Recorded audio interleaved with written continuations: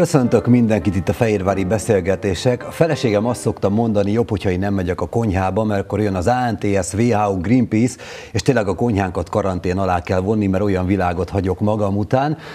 Illetve a másik, ami nagyon-nagyon fontos, hogyha már itt tartunk a konyha művészet, hogy határozottan fejlődőképes vagyok, mint a magyar férfiak eme területen általában 50%-os hibarányjal dolgozom, 50% ehető, másik 50%-a pedig, amit főzök, az általában a depónia vendég szeretetét élvezi. A mai napi vendégemnek gondolom nagyon-nagyon ritkán kell ezzel szembesülnie, Vollenter István szakácsot köszöntöm, szia! Szervusz, szeretettel köszöntök én is mindenkit. Első kérdésem rögtön az lenne, és ezt mindig meg akartam tőled kérdezni, akár hogyha a Vörösmarty rádióban vagy éppen máshol találkoztunk, hogy vannak ezek a nagy-nagy sztárszakácsok, Gordon Ramsay és még lehetne sorolni, őket akkor a tisztelet övezi tényleg, mint mondjuk Brinkman professzort annó a klinikában, hogy ők mitől ekkora istenek, hogy tekintetükkel keverik a rántást, vagy mit tudnak ők, hogy tényleg ekkora királyok ezen a területen? Miben tudnak többet, mint te akár például? Hát most ez egy jó kérdés. Nyilván mondanám azt, hogy szívem szerint, hogy nem hiszem, hogy sokkal többet tudnak, mint én. Egyszerűen nyilván vannak azok az élethelyzetek, ahol adott pillanatban ott kell lenni ebben a, ebben a szakmában is. És hát azért vannak olyan alkatok, akik, akik jobban szeretnek a konyhában lenni, mint én, és ott kamatoztatni a tudásukat, illetve vannak, akik ezen felül még természetesen a tudáson felül szeretnek szerepelni is, meg tudnak is. Tehát jó a marketingük, mondhatjuk ezt, ez a különbség általában mondjuk, hogyha közted nézzük, és mindenféle nagy képűség nélkül. Közted meg Gordon Ramsay között, hogy neki jobban marketingje, meg hogy meg mondjuk nem magyar, hanem egy jóval nagyobb országba született? Hát ugye a szakmai alázat és a tapasztalat az az, az ő oldalán is abszolút ott áll, uh-huh. és az életpályája az éttermeivel, ugye a világ legjobb éttermei között van az egyik étterme, ezen kívül a világ számos országában van már ö, egyéb más ö, gaz, ö, vendéglátós érdekeltsége, ö, és azt azért Gordon ramsay hogyha itt kiragadtuk őt, akkor tudni kell, hogy egy nagyon komoly holding áll mögötte, ugye az uh-huh. Apósa révén, akinek volt egy ö, szép ö, anyagi tőkéje arra, hogy ezt föl tudják ezt a brandet építeni. Hát, hogy könnyű azért, igen. Ö, így azért kicsivel könnyebb, mint elindulni mondjuk csókakörről a világot meghódítani. Azért azért tehát ahhoz képest, hogy mennyi szakács és séfél a világban, ahhoz képest elég kevés a tévé, tehát a média személyiség közöttük, úgyhogy azt gondolom, hogy szerencse is kell hozzá, illetve abszolút alkati kérdés is. Meg ez. nyitottság is, meg oda a szakmából nem annyira sokan nyitottak. Elfőzögetek, jól vagyok, de köszönöm médiában, nem szeretnék szerepelni. Nem gondolom, ilyen is van nyilván. Így van, és én azt gondolom, hogy ebből van több. Uh-huh.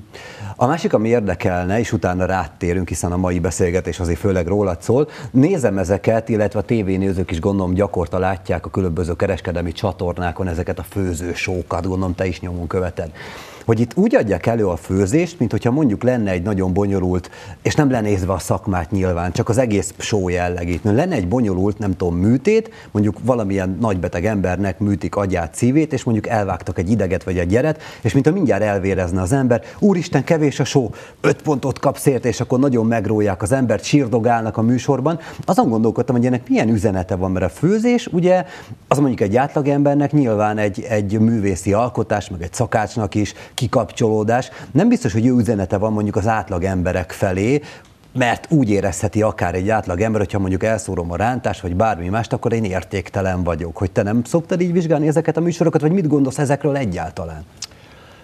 Hát az igazság ebben az, hogy, az, hogy az első adásokat általában megpróbálom megnézni. Nem mindig sikerül, de ezeknek a tévés, magyar tévés személyiségeknek a nagy részét mindet ismerem személyesen, mm. és mondhatom azt is, hogy a kapcsolatom is némelyikkel kifejezetten jó, és tehát csalódom bennük általában, mikor meglátom a műsorban. Tehát, tehát maguk a, ahogyan ki vannak ezek a szerepek találva, mert én azt gondolom, hogy ezek azért nagy részben szerepek. Tehát ők jó emberek, mondhatjuk Abszolút, ezt. abszolút jó emberek, és nyilván nem akarok itt nevesíteni műsorokat, de, de tehát tehát teljesen más, hogyan viselkednek a való életben, a való, ö, tehát a konyhájukban, mint ahogyan a televízió műsorokban.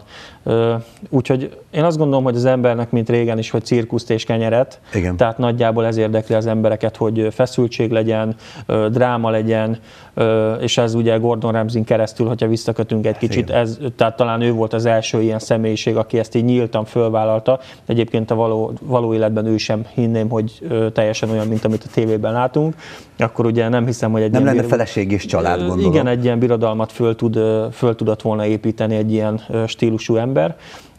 Úgyhogy hát, hogy milyen hatása van, én azt gondolom, hogy az emberek azért egy része ezt belátja, hogy ez egy tévéműsor, tehát vannak ugye filmdrámák is, vannak sorozatok, amikben az emberek nagy része nem éli bele magát, természetesen ugye a, a folyamatokat azért követik, és, és próbálnak belőle nyilván élményeket szerezni, és hát lefog, lefoglalni saját magukat. Azt gondolom, hogy a főzőműsoroknak is inkább ez a, ez a lényege, és hát azért jó lenne, ha lenne egy kis szakmai üzenet is benne, hogy, hogy azért ö, mégis miről szól ez a, ez a dolog. Rátérvén pályafutásod elejére, te mindig szakácsnak készültél, vagy valami teljesen másnak indultál esetlegesen? Hát igen, ez egy nagyon érdekes kérdés. Én nagyon sok minden akartam lenni azon kívül, hogy, hogy szakács nem. Tehát Szakács én, nem én akartál lenni? abszolút nem akartam szakács lenni. Tehát érdekes. Katonatiszt, magasépítész, ami elsősorban szerettem volna lenni. Ugye, hogyha a katonatisztet egy kicsit ö, ö, ö, rávonjuk erre a szakmára, akkor valami kis közös van benne, ugye a vezetés és a, és a maga a fegyelem az, az abszolút a, a konyhában is ö, ö, megtalálható. És hát mondjuk azt, hogy a nevelőszüleim hatására lettem szakács, ugye mondván, hogy ennél jobb dolgot sehol sem lesz, meleg van, étel mindig van, szóval, szóval próbáljuk meg ezt a, ezt a pályát. És hát volt egy év, az első év, amikor szenvedtem, és, és úgy gondoltam, hogy ez nem nekem való dolog. Aztán ugye nagyon jó helyen voltam gyakorlaton egy családi kis vendéglőben Móron ö, a Bormúzeumban, és ott kaptam egy olyan, olyan pluszt így a család által és maga a közösség által, hogy én úgy gondoltam, hogy igen, nekem itt a helyem. És akkor gondolom van hozzá tehetséged is nyilván, hiszen ha nem látszott volna, hogy folyamatos sikertelenségek vannak, akkor lehet, hogy nem ezen a pályán mozogsz például. Hát nyilván mondjuk azt, hogy remélem, hogy van bennem valamennyi tehetség is, de nagyon sok mindent meg lehet tanulni ebből a szakmából. Nyilván alázat és, és odaadás az, az egy alapkövetelmény. Gyengébb képességű emberek is tudnak nagyon jól főzni. Uh-huh. Nekik kicsit több erőfeszítés kell ahhoz, hogy, hogy el, elsajátítsák a konyhai fortéjokat, illetve, illetve nem biztos, hogy belemennek olyan bonyolultságokba, ők megmaradnak az egyszerűbb konyháknál, de hát bízom abban, hogy azért a tehetség és a, mondjuk ugye a, a szorgalom az, az hozzátette ez nagyon sokat. Ugye a kreativitás is persze nagyon fontos a te szakmádban, tehát nem elég az én azt gondolom, hogyha mondjuk tudod ezeket az alapételeket, amik mondjuk nem tudom, egy 20-30 évvel ezelőtt voltak, tehát most már különlegességek kapcsán is képben kell lenne, tehát akár a különböző tájak, mondjuk japán, kínai, mediterrán konyha, tehát itt is azért hozzá kell tudni szólni, gondolom, és itt is el kell készíteni rengeteg ételt. Hát így van, tehát ö, ö, ugye mondhatom azt, hogy ö, 20 éve vagyok már a, a pályán, tehát sőt 21, hogyha egy a gyakorló éveimet mm. is ö, beleszámítom. Tehát a mai konyha, amit képviselek, az fényévekre van attól, amiben fölnőttem. Mm. De, de mégis, mégis nagyon sokat köszönhetek akkoriban. Nem, nem szakmai segítséget kaptam elsősorban, hanem egy, egy rálátást, egy hozzáállást a főzéshez, a konyhához, a vendégekhez, magában a a vendéglátáshoz, ami, ami nagyon-nagyon fontos alapillére annak, hogy én ma eljutottam idáig. Mhm. Egyébként, hogy nézzük az otthoni körülményeket, hogyha mentek vendégsé, vagy jönnek hozzátok, mindig te főzöl, mert én azt képzelem, hogy egy szakács, aki mondjuk ilyen szinten van, mint te, mindig rábízzák, át ott van az István, majd ő szépen megfőz, mert az a szakmája nagyon jó. Ez így szokott lenni, így van a valóságban is? Nem teljesen, nem teljesen. Tehát vannak, mondjuk azt, hogy a családi életünkben is vannak kiemelt események, amikor mondjuk azt, hogy apróbb mozzanatokban vállalok szerepet, tehát azt gondolom, hogy nem feltétlenül kell a családra ráerőltetni, sőt nem kell a családra ráerőltetni azt a stílust, amit én képviselek a konyhában. Ha otthon főzök, akkor megpróbálok úgy főzni, ahogyan ők is főznek. Uh-huh. Szóval vannak természetesen extra dolgok, amiket megpróbálok otthon bemutatni, ilyen, tehát van, amikor vákumban főzöm a húst, tehát szújdolva készítem el, de erről nem tartok előadást, hogy ez úgy készült, hanem egyszerűen csak várom a hatást, hogy rendben van, vagy nincsen rendben. Tehát nem megyek bele ilyen bonyolultságba, én csinálom a dolgomat, ahogyan azt máskor szoktam, tehát otthon sem csinálok neki külön marketinget, hanem egyszerűen megpróbálom azt, hogy a, hogy a család minden egyes részének ugye ízlődjön az étel. Szintén nagyon fontos kérdés nyilván laikus részéről, mint amilyen én vagyok, hogy azt gondolom, főleg ugye nektek gyakorlati tárgyak vannak, illetve gyakorlati gyakorlatok vannak, amikor mondjuk egy újfajta konyhának a különböző fogásait próbálod elsajátítani. Az elmélet itt mennyire fontos a te szakmádban? Tehát itt is van kőkemény elméleti rész, amit tudni kell és meg kell tanulni? Hát ugye mivel az egész főzés receptúrákon alapul, uh-huh. így azt gondolom nyilván nem lehet több százféle receptet fejben tartani, de erre vannak ilyen nagyon okos kis noteszek, jegyzetek, tehát egy, egy ö, olyan szakács, egy séf, aki komolyan veszi ezt az egészet, az mondjuk azt, hogy egy nagyon komoly jegyzet ö, hallommal jár, uh-huh. receptúrákkal jár kell a, a konyhában, illetve étteremről étteremre, ahova barangol. Szóval mindent nem kell tudni nyilván, de azért vannak alapok, amiket kell tudni fejből. Nyilván technológiákkal, technikákkal tisztában kell lenni.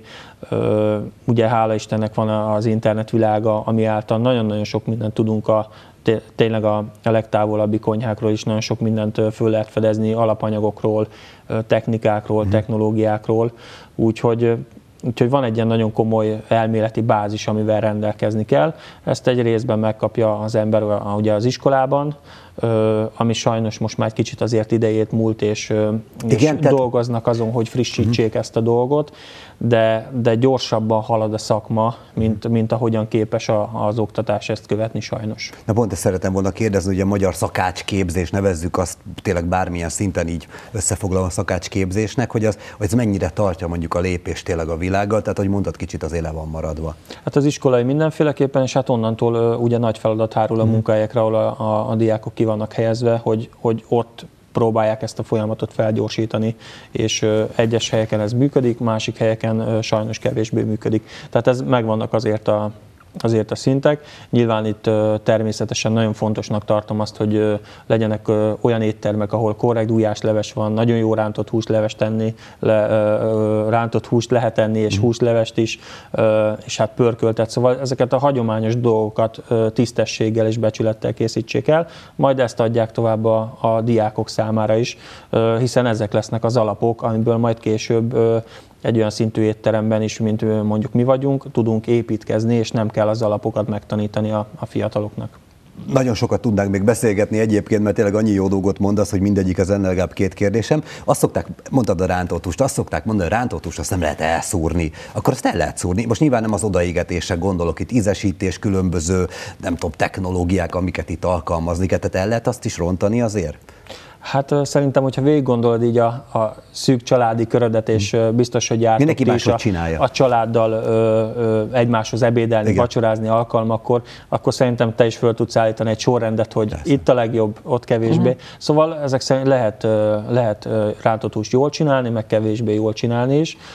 Alapvetően, ha azt mondjuk, hogy nem lehet elrontani, ez nem igaz, de valójában egy annyira egyszerű dologról beszélünk, hogy nem szabadna elrontani otthoni körülmények között nagyon sok minden belefér, hogy kicsit sótlan, nem olyan volt a mm. hús, nem volt, nem volt elég meleg az olaj. Éttermi körülmények között azt mondom, hogy ezeket a hibákat 100%-ra ki kell küszöbölni, mert azért egy rántott hús, tehát szóval mondjuk azt, hogy a nemzeti ételünk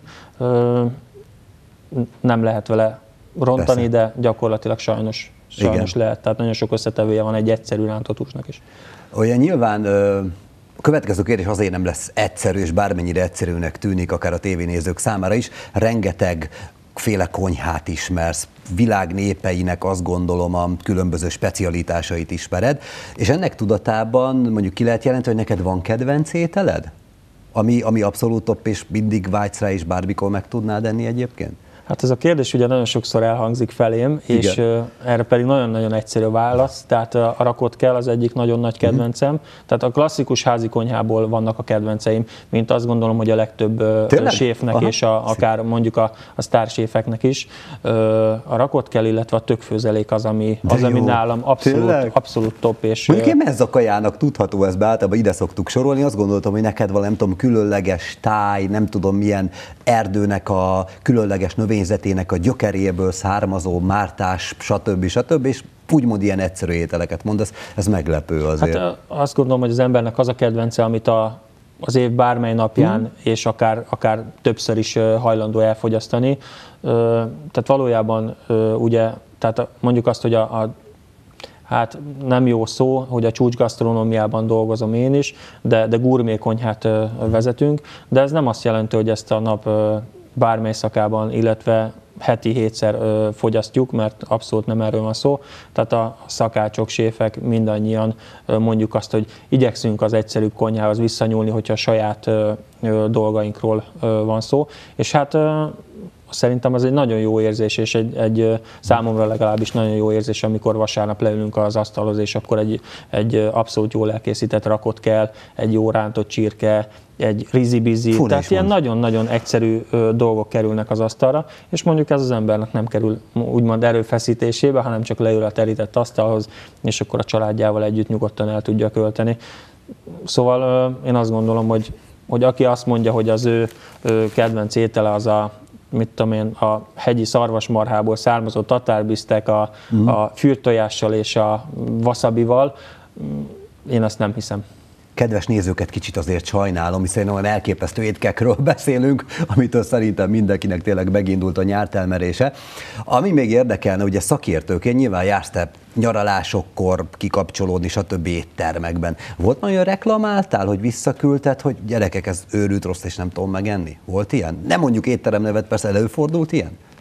Ö, az az igazság, hogy nem.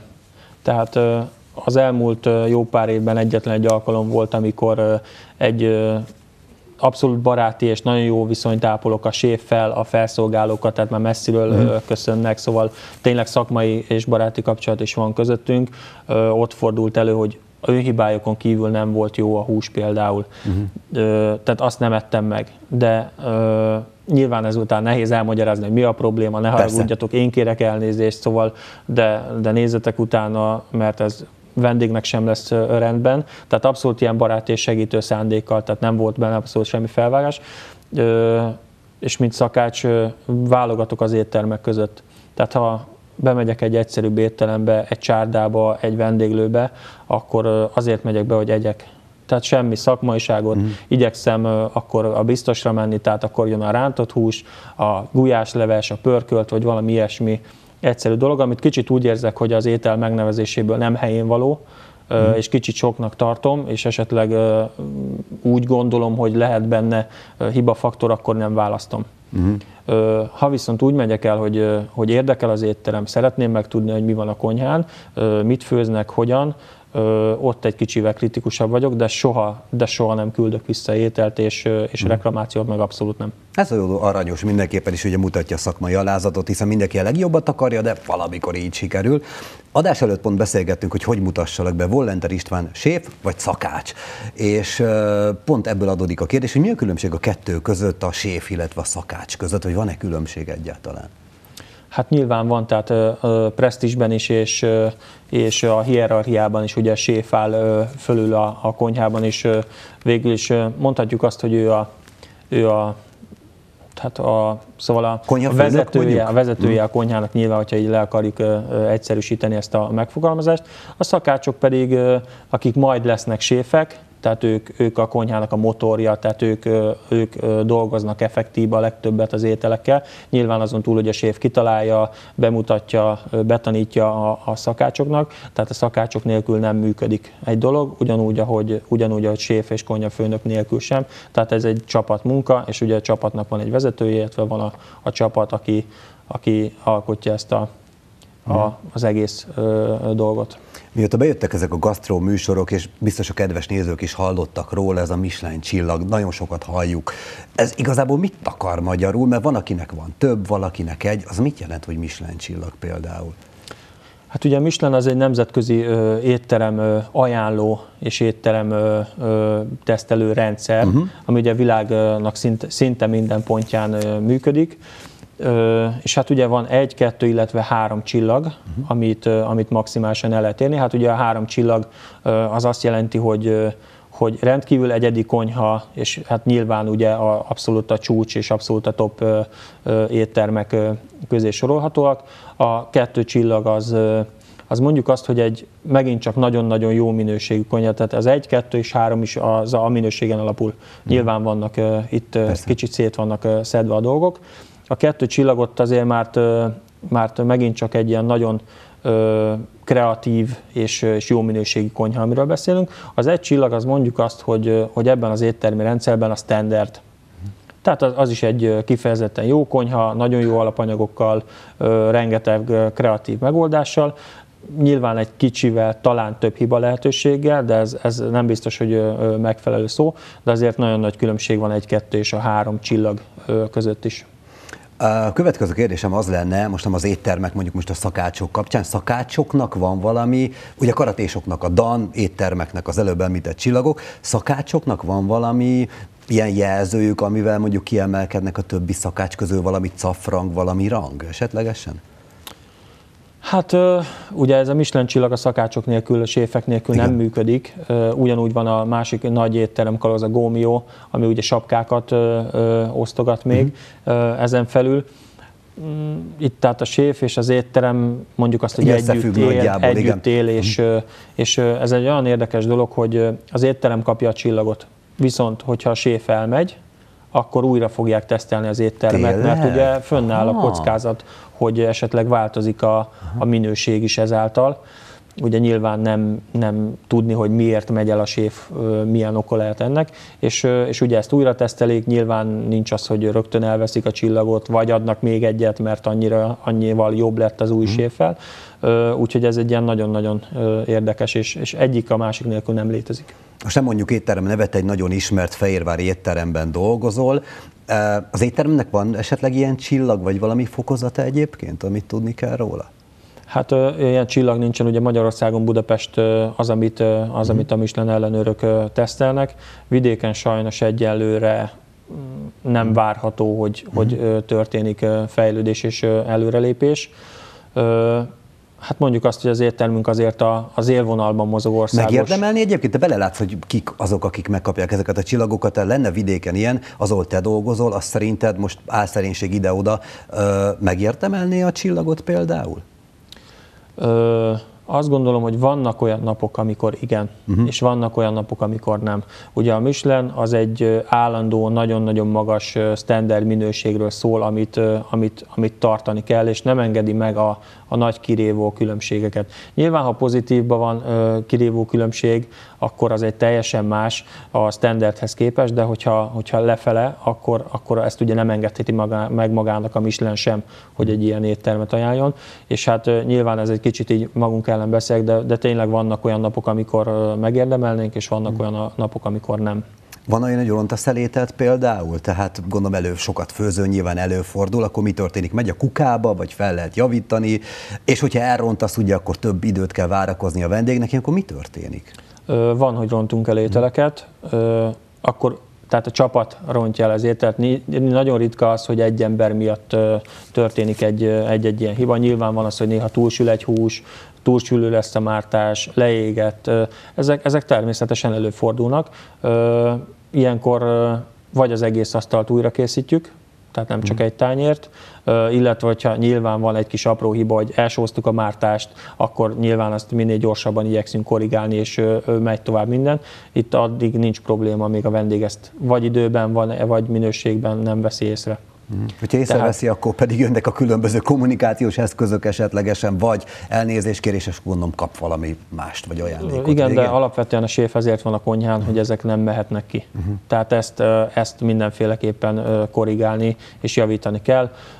Van olyan eset egyébként, hogy, hogy ezt csak úgy lehet korrigálni, hogy a séf fölveszi a szép kabátját, szép kötényét, kimegy a vendéghez, és elmondja neki, hogy elnézést kérünk, pár perc türelmet kérünk még, mert ez és ez történt, tehát nincs annak értelme, hogy, hogy köntörfalazzunk, megpróbáljuk húzni az időt. Emberek ez sokszor, ez sokszor egyébként hihetetlen, de pozitív irányban javítja a munkánkat, ugye olyankor ki tud menni a séf, beszélgetni egy kicsit a vendéggel. Nyilván nem olyan könnyű nekiállni, mint egy, mint egy válveregetős szituációban. Persze Előtt egy pálinkát meg kell vele itatni, és akkor talán könnyebben befogadja ezt az inputot, nem? Így van, vagy ugye kezeljük ezt a problémát, és utána meghívjuk az asztalt mondjuk egy desszertre, az aranyos, tehát, ez jó dolog. Az tehát, kell, tehát vannak azért erre, erre lehetőség. Szóval a lényeg az, hogy, az, hogy hibázunk, de ezt megpróbáljuk ugye a konyhán belül tartani, és ezt minél, minél gyorsabban, minél szakszerűbben és minél észszerűbben orvosolni. Persze.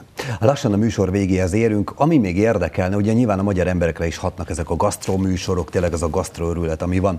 Ö, magyar emberek szerinted hogy főznek? Tehát akár az egészséges oldalát nézzük, vagy a változatos oldalát, most nem azokra gondolok, akik rendelnek, mert sokan rendelnek kaját. Akik mondjuk tényleg otthon főznek, hogy mennyire fejlődünk ebben, mennyire vagyunk hajlandóak elszakadni a tradíciónál, normális, megszokott ételektől mit tapasztalsz?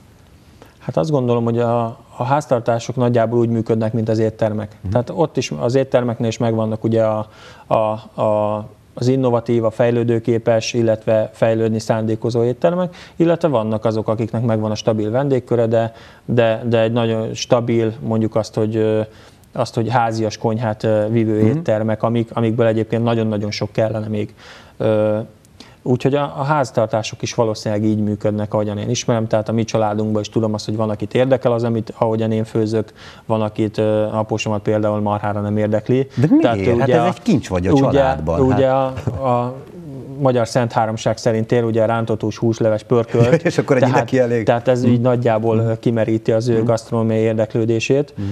Mm, úgyhogy azt gondolom, hogy itt azért nagyon-nagyon szélsőséges. Tehát van, aki, van, aki egysikúan, egyhangúan, tehát megelégszik tényleg azzal, hogy télen-nyáron a mirelit zöldséget veszi, abból főzi a levest, főzeléket, mm. stb. stb. Van, aki kijár a piacra, megnézi, mi van, most párga szezon van, most veszünk egy kis párgát, utána nézünk az interneten, hogy mit lehet belőle csinálni, medve, hagyma, stb. Mm, azt gondolom, hogy a háztartások is nagyjából úgy épülnek föl, mint a mai magyar gasztronómia, de ez nem csak Magyarországra jellemző, hanem, hanem a világra is jellemző általában. Ugye nagyon rohanunk, sietünk, kevés időnk van ezzel foglalkozni, úgyhogy, úgyhogy nagyon-nagyon szélsőségesnek gondolom hmm. ezt a dolgot. Hát is már sajnos a műsor végéhez értünk, én nagyon-nagyon köszönöm, hogy itt voltál velünk, és persze nagyon-nagyon sok szakmai sikert kívánok neked. Köszönöm szépen én is. Önöknek is köszönöm, hogy itt voltak velünk, csókolom.